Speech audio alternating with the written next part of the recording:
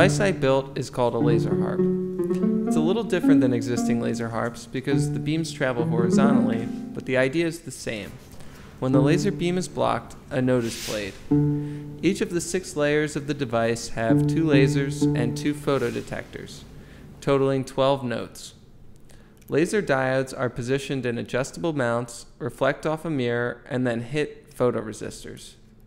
The signals for the photoresistors and lasers run down the side of the device to the electronics in the box underneath. On the front panel, you can see two speakers and an audio jack for connecting headphones or bigger speakers. To turn the internal speakers off, this latch button is pressed. One knob controls the volume, and the other knob controls the type of instrument. I preloaded 20 instruments on the Arduino. The current instrument is displayed on the instrument wheel. You can watch how the instruments update as I cycle through them. On the rear panel is the power jack, power switch, reset button, and USB output for uploading programs to the device. Now let's open up the bottom. First I unscrew these four bolts and then take off the bottom panel by prying it off with a small Allen wrench or screwdriver.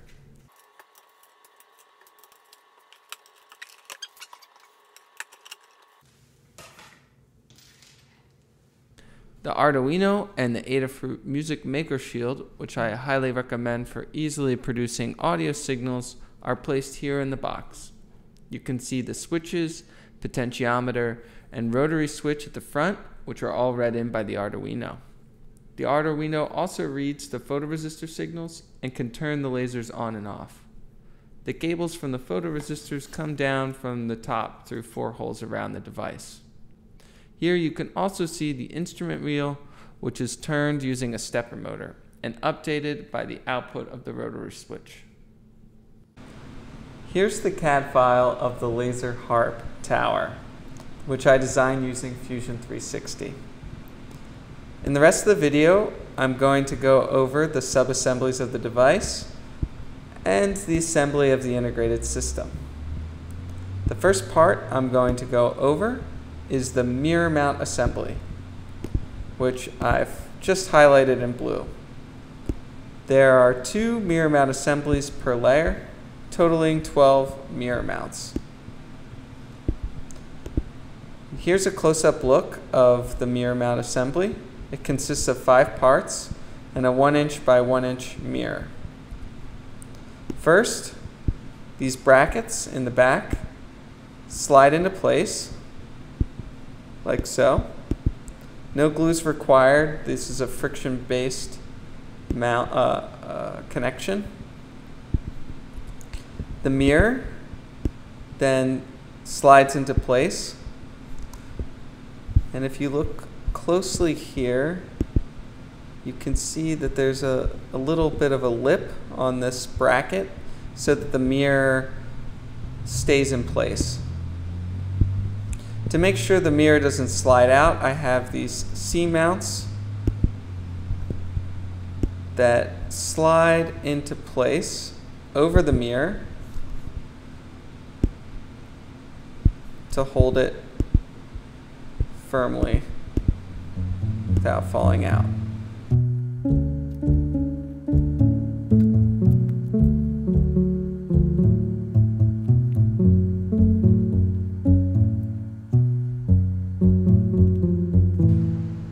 The next sub-assembly I'm going to go over is the kinematic laser mount and photoresistor mount.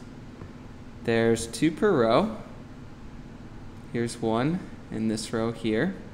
The laser diode sits in this position right here.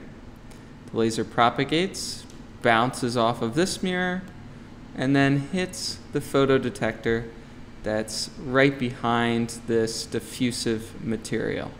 The mount is kinematic because it's difficult to align the laser beam with the photoresistor without some sort of fine-tune adjustment.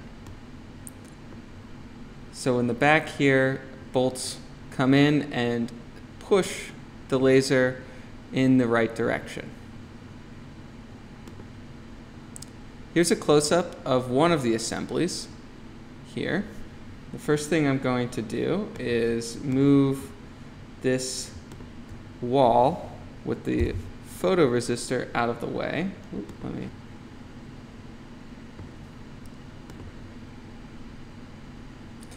And we'll start by focusing on this assembly with the laser. The laser diode is right here. So it fits into this small block. It's glued in and coarsely adjusted to align with the photoresistor on the other mount. To push this laser back and forth, there are these spring-like parts that are flexible. Now I'm going to pull these bolts out of the way here. You can see the way that these bolts are held in place is there are four nuts embedded within this, this module right here in the back. These are uh, glued together, these three pieces here, one, two, three. So I'll also move these parts out of the way.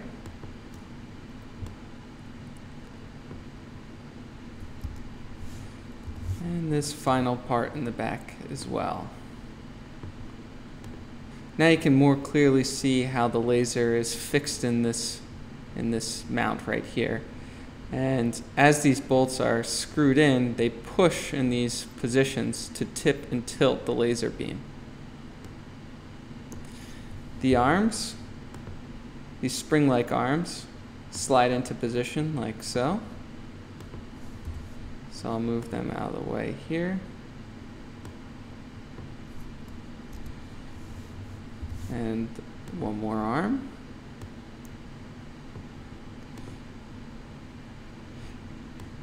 And now you can take a look at the, the full assembly. These two parts are, are glued together here. This front part uh, includes the photoresistor.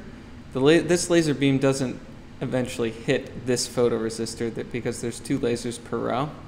So let me just go back here. So here's that, the, the laser module bounces off the one mirror and hits this assembly back here.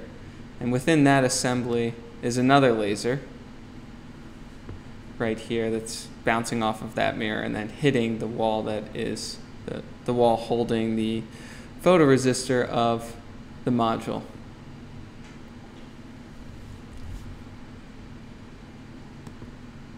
First part I'm going to take out is this one right here.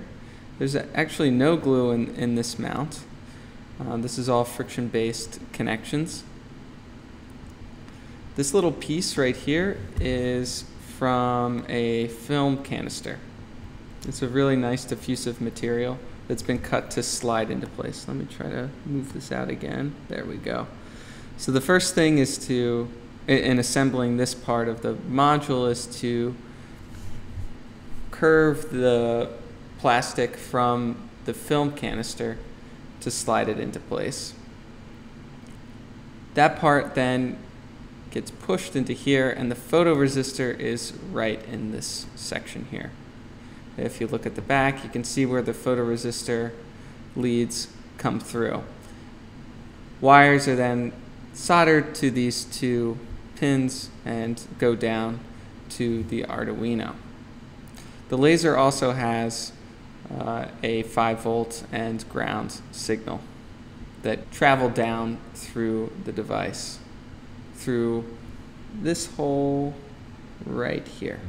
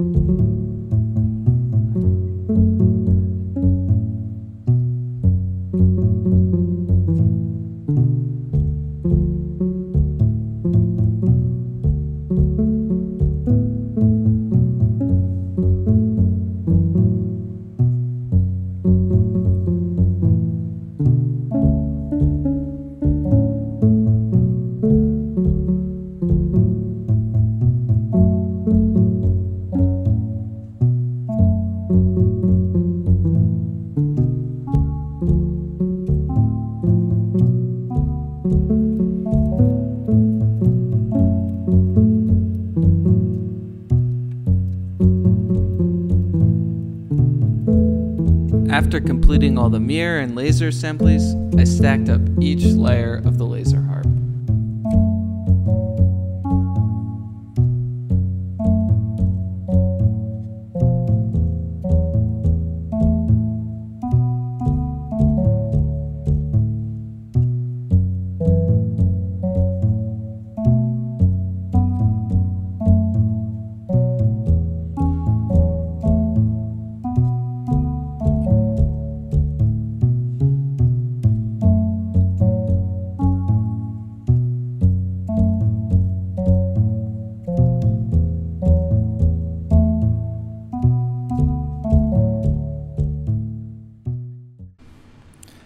There's one more subassembly I wanted to go over in detail in the laser harp. It's the instrument wheel, which you can see from the front here. Before going over that, I just wanted to remove some of these front panels here so you can see how the bottom part is assembled. There are openings in this layer here for the layers of the bottom to slide into. I'll remove that now. And you can now see the front panel. Behind these knobs is the potentiometer and the rotary switch. With this panel gone, we can see the one sub-assembly that I wanted to talk about in detail. This instrument wheel displays the current instrument being played and is turned with the stepper motor right here.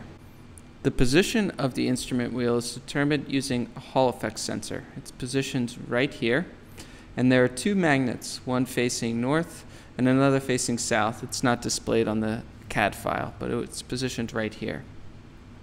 As the wheel turns, the Hall effect sensor is turned high or low depending on the direction of the magnet. Using this information, you can calibrate the motor to be oriented at a particular instrument, the starting instrument of the device.